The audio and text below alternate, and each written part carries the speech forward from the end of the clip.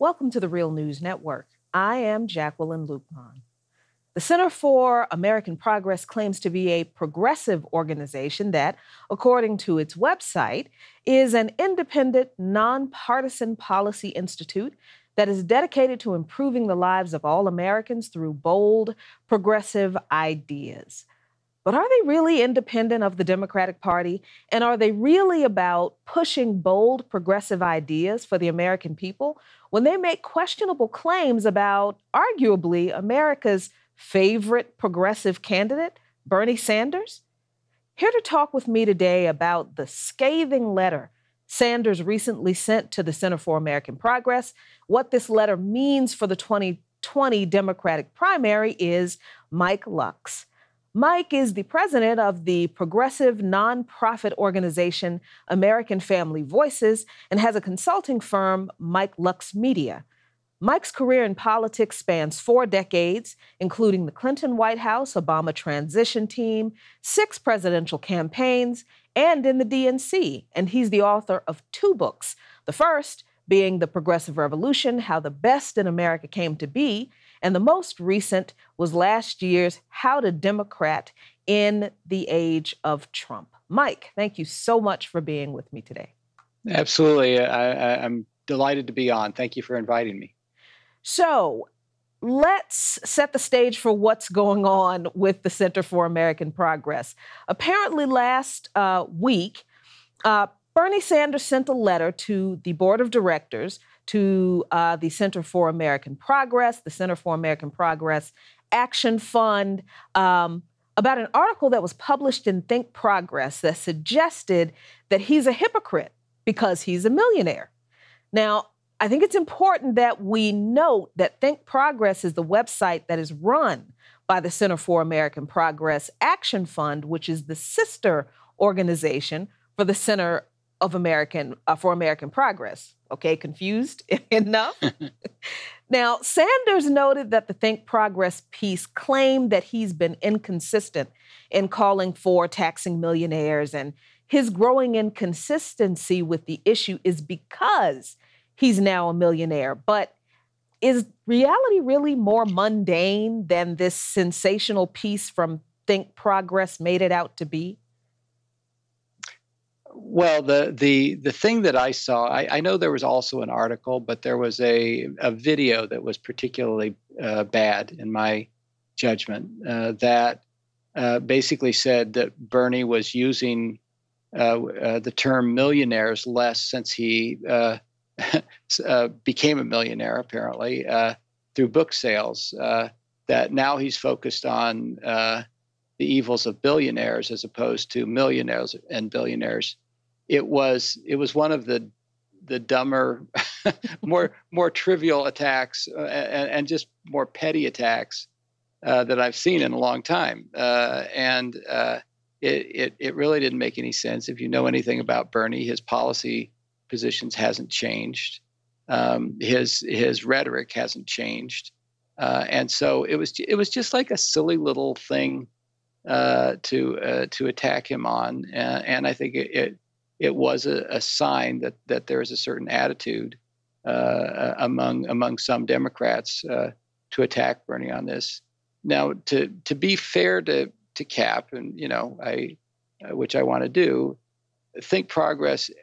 Uh, although it's it's sort of housed there and run out of there, and they do fund it, uh, so there's a lot of ties. But um, but think progress is editorially independent uh, according to their policies.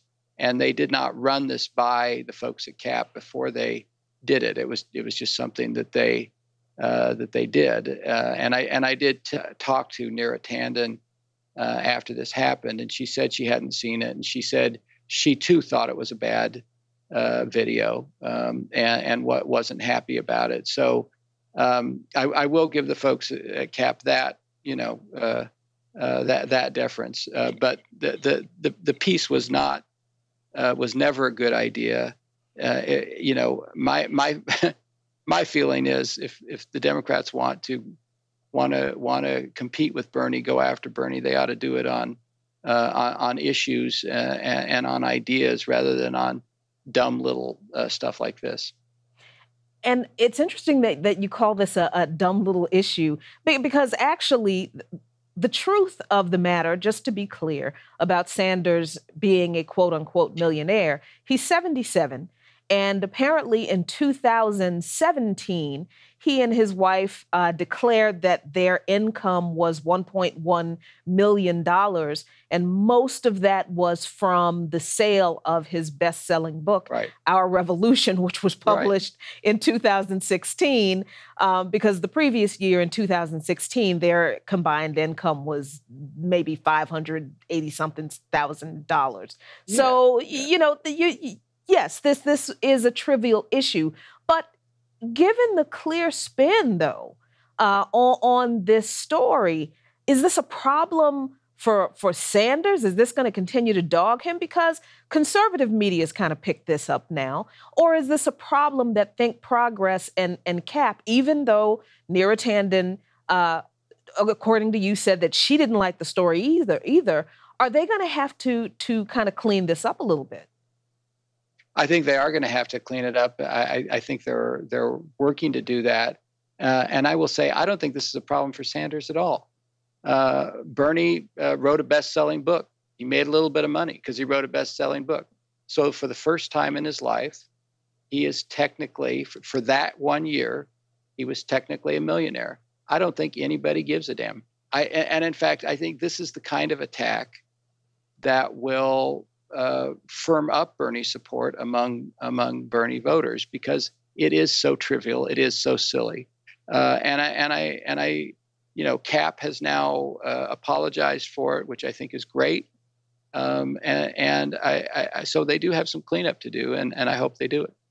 Now, the interesting thing about uh, uh, Cap is that they focused on going after Sanders for being a millionaire, but there's also the issue of Cap's own contributions. And I think that's interesting in this story because uh, the, the Sanders wing or the left or progressive wing of the Democratic Party, that the Democratic establishment is seemingly having uh, such a problem controlling, so to speak, or at least keeping silent, pretty much learned from Sanders, I think, in 2016 to question who's funding candidates.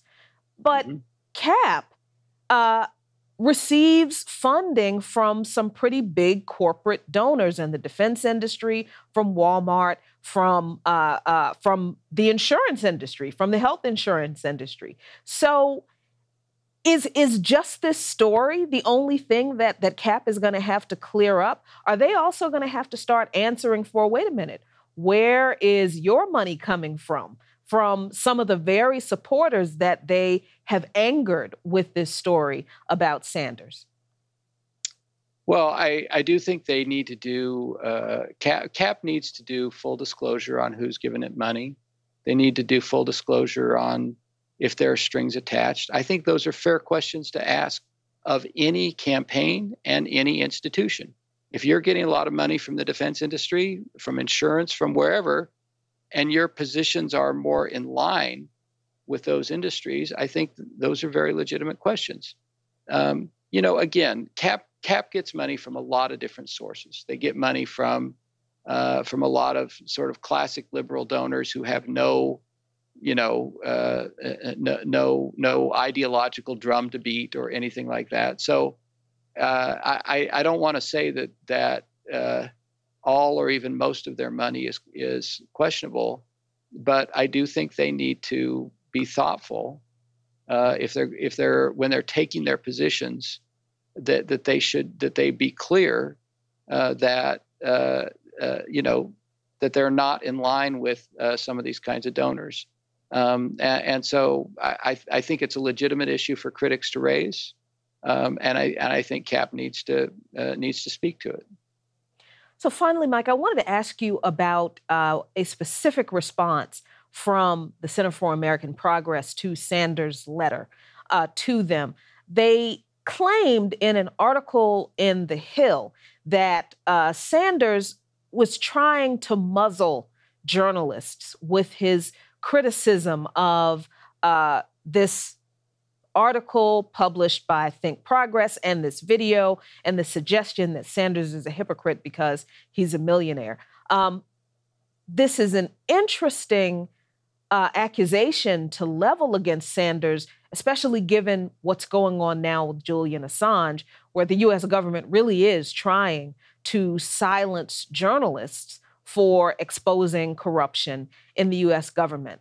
Um, this is also an interesting time where we've learned that the DCCC has demanded a loyalty oath of vendors uh, to for them to promise that they won't support challengers of Democratic incumbents for House seats in the coming midterms. Is this more this this claim from Cap that Sanders is trying to muzzle them? Is this more of just kind of this Democratic uh, Party establishment uh, pushing back or trying to silence themselves or to stop the progress of progressives from making more of a headway into the Democratic Party? Uh, or, or is this something else that, that's a little bit more concerning? Well, again, I, I think that was a dumb, uh, uh, you know, answer or, or, a dumb statement by uh, the folks at, uh, and again, I, I, think it was Think Progress, uh, you know, as opposed to CAP. the the problem is that this is the, there's a complicated role here uh, and it's one that I understand. It's it's advoc- It's what it's what people call advocacy journalism.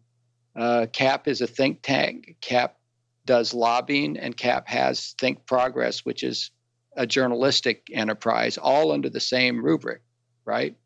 And so they're they're they're playing multiple roles, which which uh, things get complicated when you're when you're playing multiple roles. Um, and and I I don't have any, any, problem with advocacy journalism as long as you stayed up front. You know things like who your donors are and all of that. I you know I think I think it's fair enough.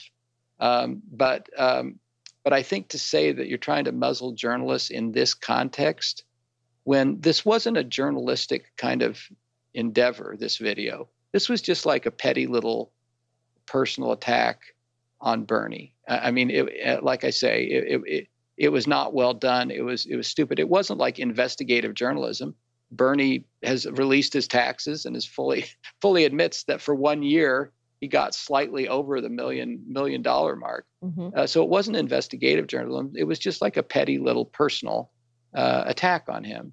Uh, and and uh, I think uh, uh, I I think to say that it's muzzling journalism to push back on that when it was a direct political attack, it, you know, is is wrong. And and I think it was a, it, you know, it was not a a, a good thing for for CAP or Think Progress to to push back on. Um, I think I think Bernie, when when attacked, Bernie has every right to answer, uh, to to push back, uh, and and to say he shouldn't do that. Uh, I, I just think is is wrong. So finally, Mike, I, I got to ask you from uh, you quoted you said something in your in your latest book, How to Democrat in the Age of Trump. Um, first, the bridge between grassroots progressives and the party's leaders need to be rebuilt. This is from your book. Party leaders need to genuinely listen to their grassroots rather than battling or ignoring them. Democratic leaders need to learn what the Republicans have understood for decades now that to win a political that to win, a political party needs enthusiasm from its activists and base voters. That means a message that embraces the passions, values, and agenda of grassroots leaders.